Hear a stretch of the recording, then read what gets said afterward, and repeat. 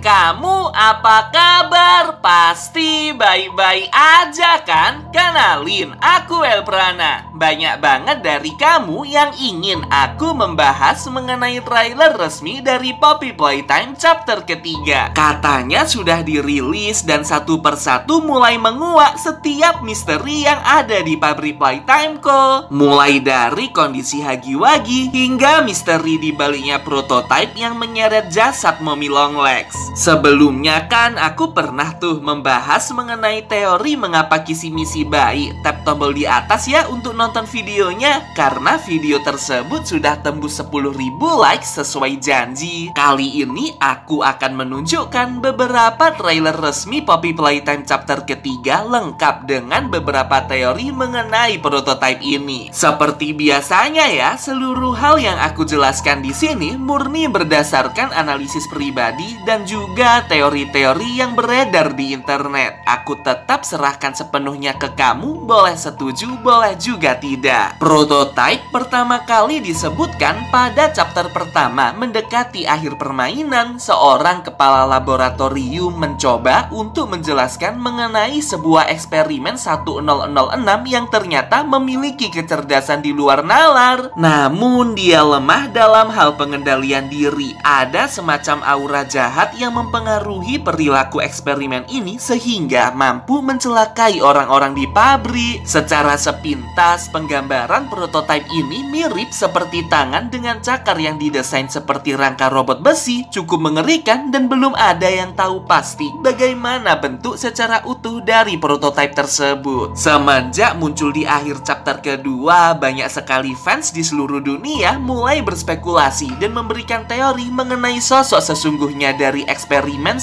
1006 ini. Aku akan coba jabarkan satu persatu ya. Teori pertama, prototipe merupakan anak dari Elliot Slutchwick, pendiri pabrik Playtime Co. Semenjak keluarganya meninggal dengan alasan yang misterius, Elliot menjadi depresi dan menggunakan seluruh ilmu serta kemampuannya untuk dapat menghidupkan anaknya lagi. Dia merekrut banyak orang berpendidikan dan bertalenta untuk bergabung dalam perusahaannya. Mereka bekerja sama menciptakan sebuah formula yang mampu mengembalikan hidup manusia yang telah mati. Dan ternyata berhasil. Eksperimen ini berkode 814 yang membuktikan bahwa ada 813 percobaan gagal sebelum eksperimen ini berhasil. Berkasnya dapat kita temukan di ruangan kerja Elliot Slashwicks di chapter kedua kemarin. Di situ tertulis jelas bahwa campuran gel misterius serta kandungan bunga poppy mampu membuat seekor tikus mati menjadi hidup. Elliot Lachwick ingin eksperimen ini berlanjut ke skala yang lebih besar dan kompleks yakni kepada manusia. Tepat pada eksperimen ke-1006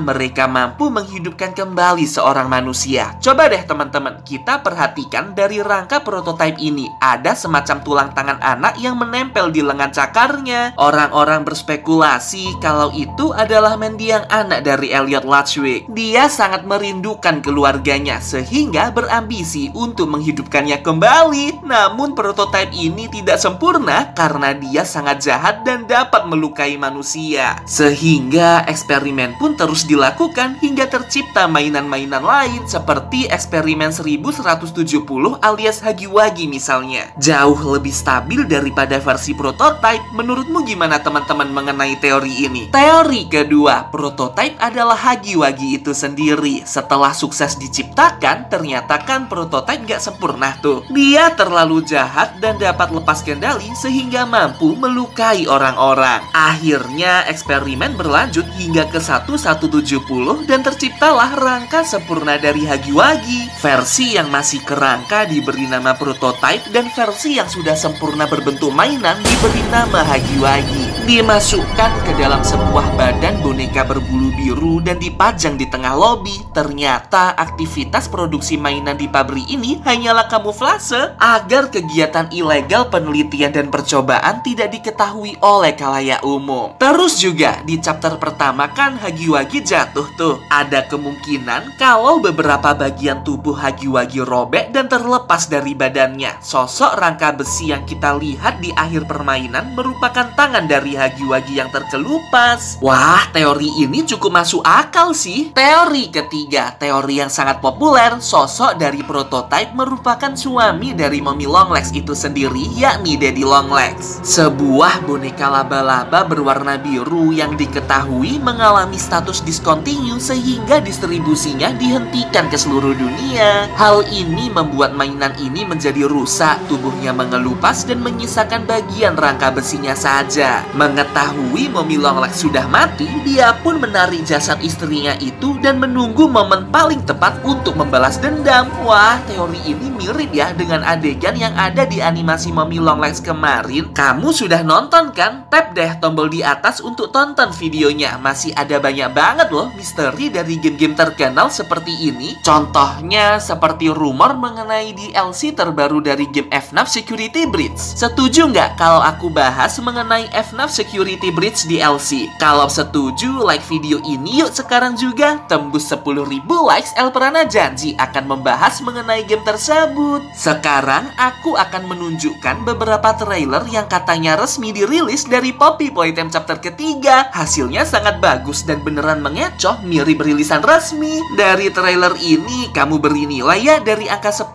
sampai 100 dan coba tebak mana yang trailer resmi dan mana yang hanya fanmade biasa. Oh, ini dia teman-teman posisi yang waktu dia terjebak di dalam kereta. Keretanya terhenti. Ya ampun. Oh, ini eksperimen 1006 prototipenya. Lah, itu kan playcare. Kayaknya itu akan jadi lokasi baru di chapter ketiga deh. Loh, ini kenapa ada kayak tabung penelitian? Itu ada hagi-wagi dan itu hagi-wagi hijau kan? Loh, kok bisa jadi hijau gitu? Ya ampun, ini si boneka Poppy. Kukira dia baik, ternyata dia jahat juga dong. Waduh, aku jadi nggak sabar nih sama chapter ketiga nanti. Kira-kira apa yang akan kita hadapi ya? Loh, kok warnanya pink atau ungu ya ini? Hah? Hagi-wagi hijau, teman-teman. Gila, keren banget. Ya ampun, aku nggak nyangka dong hagi-waginya berubah jadi hijau gitu. Lah, ini si Bron. Terus ada semacam kotak, kotak warna ungu gitu. Dan banyak mainan yang meninggal, teman-teman.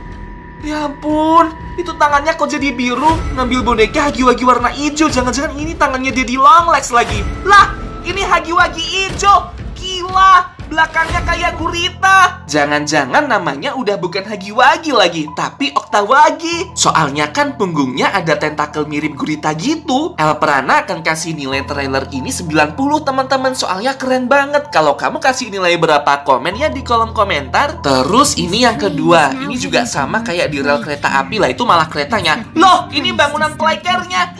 Ya ampun, satu persatu mainannya meninggoy dong. Ih, serem banget ada si Daisy juga. Wah, kok kok aku jadi merinding ya teman-teman. Sama chapter ketiga ini pasti akan lebih menegangkan. Itu itu kisi misi nggak sih?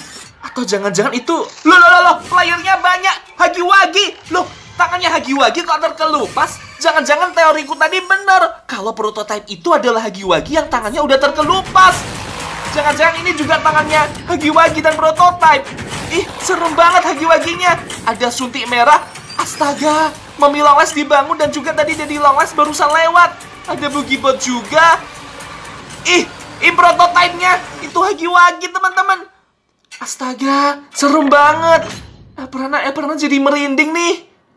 Yang kedua trailernya beneran mirip yang asli juga sih. Aku jadi bingung yang mana yang asli Yang pertama atau trailer yang kedua. Kalau yang barusan ini El Prana juga akan beri nilai 90 ya. Tapi aku bonusin 5 poin deh Jadi 95 Kalau kamu kasih nilai berapa teman-teman dari trailer kedua ini? Ya inilah beberapa teori mengenai prototipe lengkap dengan trailer resmi Poppy Playtime chapter ketiga. Gimana nih menurut kamu? Dari trailer barusan mana yang jadi favorit kamu? Komen ya ya, aku ingin tahu pendapat kamu. Oh iya, kalau kamu ingin merekomendasikan topi untuk dibahas di video berikutnya, jangan sungkan buat kirim ke email x.elprana@gmail.com. Aku tunggu ya rekomendasi dari kamu. Sampai jumpa.